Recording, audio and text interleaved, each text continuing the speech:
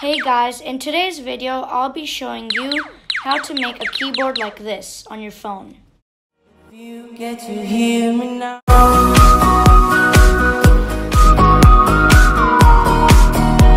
If you get to hear me now.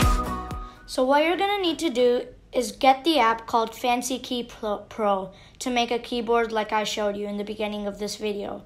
So once you download FancyKey Pro, pull up FancyKey Pro and wait for it to load.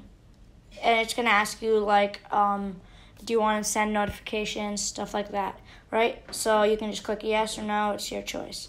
So after you do all that, at see this plus sign at the bottom, you're gonna click that and then now what you can do is you can select a background that you want to put as your background of your keyboard. Like I like I shot um, showed you, uh, mine was a phoenix, which I selected from my camera. So you could select something from your camera roll, or, uh, like yeah, I'm gonna actually yeah. So, or you could just pick one of these. I'm just gonna pick a classic. This right? Next, it's gonna ask you a type of like um, outline that to put your letters in. So what I chose is this. See, it puts that outline over there. But see, bubbles. This is a bubble outline. Some are locked, which you have to buy. So I'm just gonna select this, and then once we go here, it asks you to, to, select a font. So there's some um, free ones on the top. You can find some in the middle and some at the bottom. So let me go to the bottom. Yeah. I'm to choose this. And now I can go here. This is called the tapping effect. When you saw that when I tapped, it showed like fire, blue and red fire. So see now it's bubbles. That's a tapping effect. And I'm to find some more free ones. Uh, there, this is the fire one I have. Okay, I'm gonna put this. And now, this is called a swipe. So when you swipe on your keyboard, it like makes a combination of letters. So watch, like you could swipe and it writes a combination of letters, uh, like a random word, basically. So that swipe, uh, there's only one swipe, and the rest you have to buy. And then after that, there's sound. So I put mine as like a laser sound. So um, the the default one is just normal tap, but you could go down, find some better ones.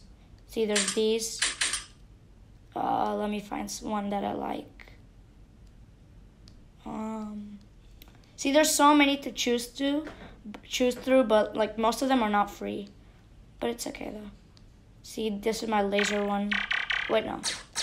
Okay, no, this is not the right one, but like, it's one of them. You know what? I'll choose this, right?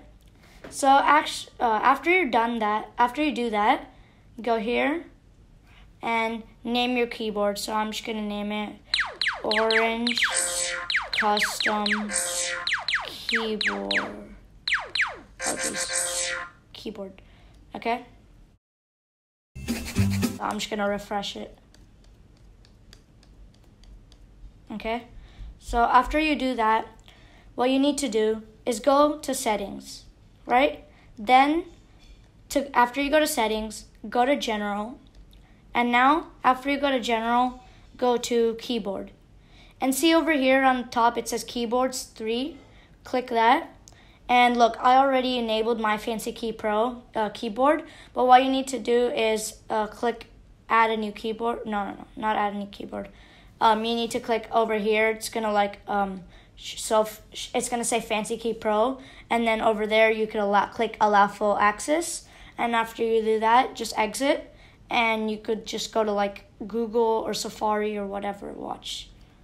See, it's over there. Oh yeah, and by the way, to and so first after you do that, it's still gonna show a normal keyboard, but to um enable your keyboard, see this word uh this earth button at uh earth button at the bottom, this one that I highlighted. Um yeah, so that one uh click that, and then it will change it. And then when you want to change it back, click it again, and then it's gonna take you to the emojis. Wait, okay yeah there and I'm gonna change it back there. So that's how you change the keyboard from your custom to the normal keyboard. And so that's so actually no, uh, I can also show you that on Safari. Look, um, it, it still shows up shows up on Safari. Same thing. Um, messages, it's the same thing. Uh, it's basically the same thing on everything. Anything that you type, all you have to do is click that Earth world, uh, like that globe button that looks like a globe, and it will automatically change it to your custom keyboard after you enable it in settings. So that's how you create a custom keyboard for your iPhone or an iPhone. I think you could do it on Android too. I don't know, but mine's is an iPhone. And yeah, thanks for watching. Remember to like and subscribe, and bye.